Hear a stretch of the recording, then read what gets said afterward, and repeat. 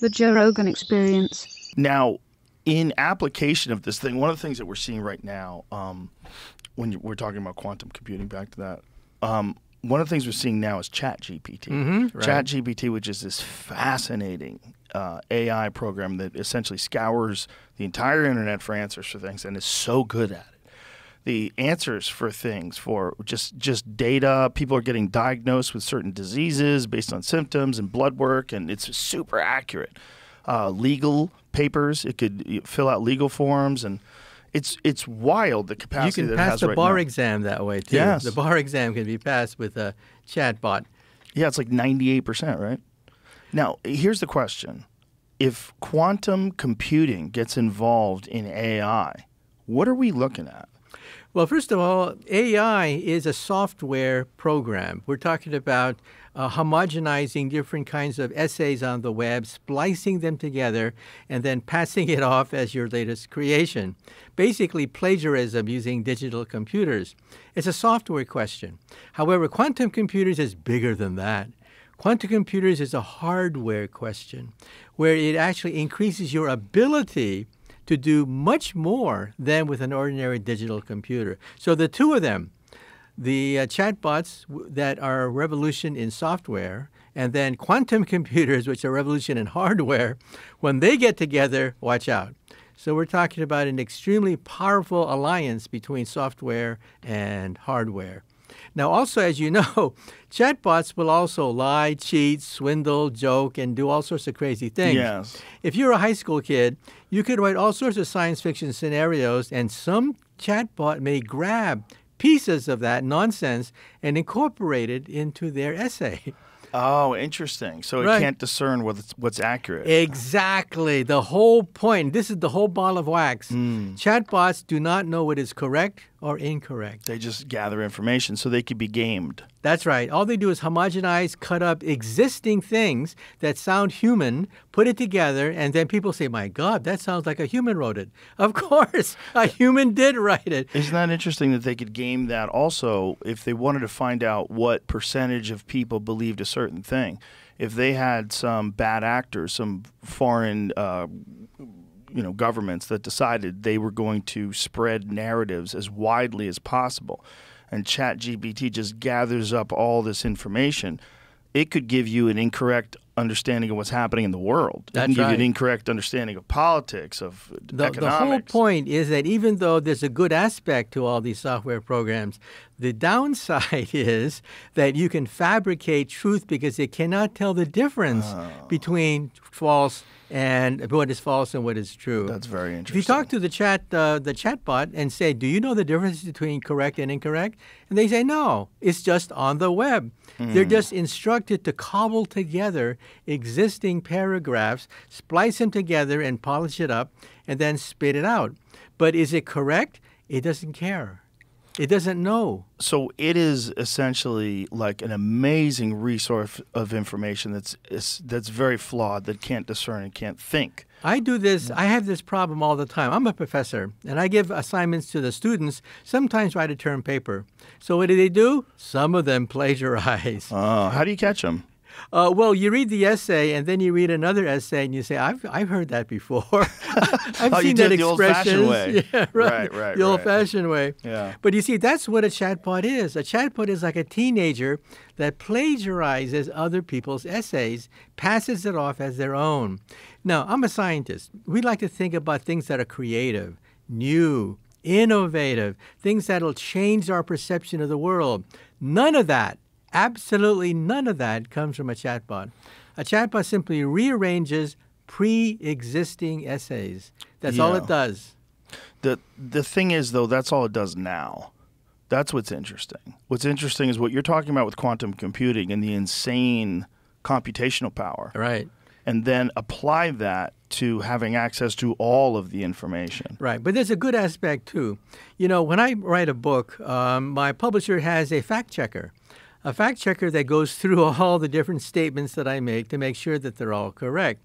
There is no fact checker for chatbots. Let me repeat that again. Hmm. There is no fact checker for chatbots. That is the whole ball of wax. That's the reason why they're so dangerous because they hmm. can they don't know. These chatbots are machines. They don't know what is correct, what is incorrect. It's all the same to them. Hmm. That's the danger that they could incorporate teenagers ranting and raving about all sorts of garbage and put that in with articles that sound reasonable. you see, that's the problem. Now, here's where quantum computers come in, come in. Quantum computers can act as a fact checker. You can ask a quantum computer to remove all the garbage, remove all the nonsense in these articles, and it'll do that. So, in other words, the hardware may be a check on some of the wild statements made by software.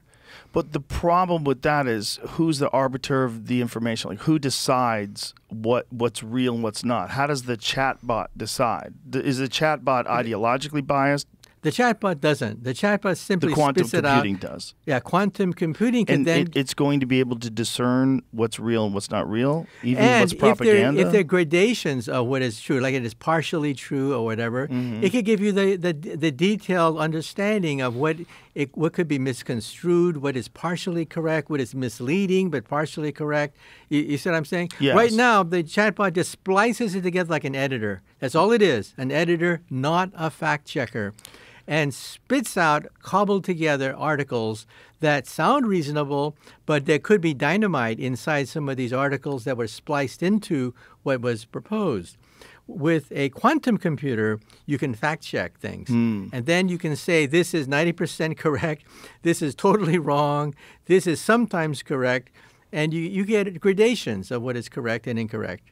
Well, if you can get an objectively accurate fact checker, that would be a huge step up from what we have today because a lot of people have very little faith in certain fact checkers. And when you find out that they're ideologically biased or they're governmentally biased, and if you could have something that could just tell you, if you, have you been paying attention to how Twitter's doing it now, where they have community notes? Have you seen this? No, I haven't. It's interesting. Like, say if someone makes a statement about something controversial, climate change, uh, whatever, and then um, this controversial statement gets refuted in the community notes, and then people will start commenting, and really intelligent, very well-read people on specific subjects will chime in with peer-reviewed papers and all these different statistics and that show, and then Twitter will correct it and it will say uh, readers have said and then and then put up the relevant information Right. See, that's what uh, chatbots do not do today. Yeah. They have no understanding of correct or incorrect, false and truth. No understanding of that.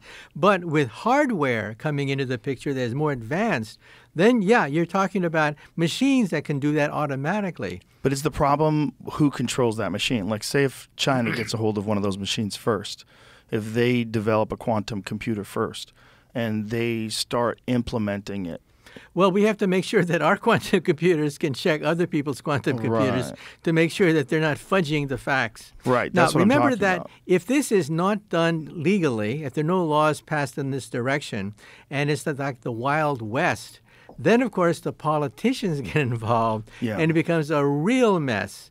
Now, we do know that you cannot yell fire in a crowded theater. Therefore, there are limits to free speech. and We get that. But how do you make limits on statements that are written on the web that no human can co- possibly follow? Right. That's where quantum computers can come in. Quantum pu- computers can are powerful enough to survey the entire landscape and give reasonable rebuttals to things that are just outrageous. Well, more than that, it's going to be able to instantaneously change how we interact with each other in terms of language barriers, all, all these issues that we have currently. I'm, I'm sure you, you're aware of uh, Google had uh, their earbuds. There was a, a feature where, if, say, if you went to Spain and didn't speak Spanish, you could talk to it and they would talk to it and it would translate back and forth. So you could have a real time conversation. I'm not sure how good is it. How good is that, Jim? But if the, if there's something like augmented reality, and we have something like that, you're going to be able to instantaneously translate what people are saying. Yeah. You, there'll be no language barriers for people. Mm-hmm. We'll, we'll not. right. We'll be able to. I think that would change just human perception across the world, just the way we view each other. It's so easy to think of each other as being different because we speak a different language and we live in a different part of the planet. But that would literally change how we interact with each other. Yeah, and just remember that where do correct ideas come from? Correct ideas come from interaction with incorrect ideas. It's the, it's the struggle between ideas out of which correct ideas emerge. And this does not happen on the internet because, of course, with chatbots, everything is cobbled together, mm-hmm. cut, spliced, and simply glued together with scotch tape, masquerading as an essay. So with fact checking, I think it's going to be different because unless we do fact checking, the politicians will get involved. Yes. And this is going to be a real mess. So I would hope that the industry does fact checking by itself rather than having politicians do it. It's such an important point that you said, where you said that the bad ideas have to exist so the good ideas triumph. Mm-hmm. And th- that that's really an argument against censorship on the internet, which is another problem that people have, especially censorship when it comes to something being ideologically based. But when you're you're thinking about quantum computing, I think what we're, I think this is small potatoes, right?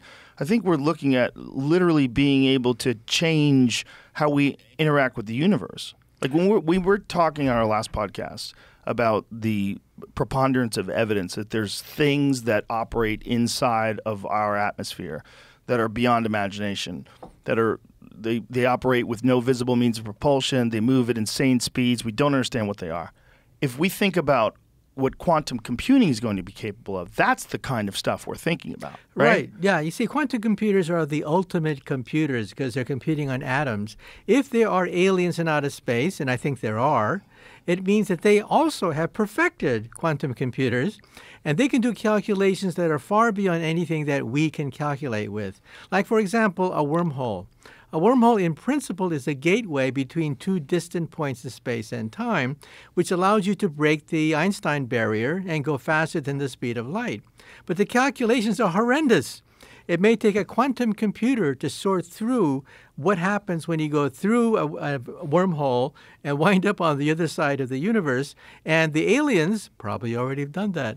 Yeah, they They've probably had centuries of experience with quantum computers because that's the ultimate computer. You can't compute on anything smaller than an atom. And they probably already have used the quantum computers to navigate through wormholes, let's say, hypothetically.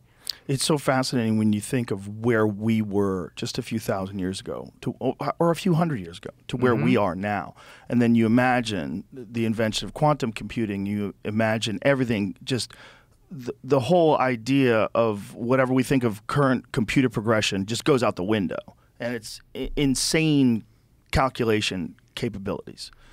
Like we could be able to do something like that in the future. Right. Quantum computers allows us to calculate things that are way beyond our ability to calculate today, like going through a wormhole or warp drive, or even the question of multiple universes. Uh, people ask the question, how come quantum computers are so powerful? It's because they compute in, in parallel universes. This is the multiverse, which of course Marvel Comics has discovered and the Oscars have discovered recently. But the multiverse idea comes from quantum physics electrons can be two places at the same time. Now, some people have a hard time getting their head around that, but get used to it. That's why we have lasers. That's why we have transistors. That's why we have the internet. That's why we have this conversation. Because the electrons that are in this microphone dance between universes at the, at the atomic level. And so we have to get used to the idea that quantum computers introduces a whole new way of looking at reality.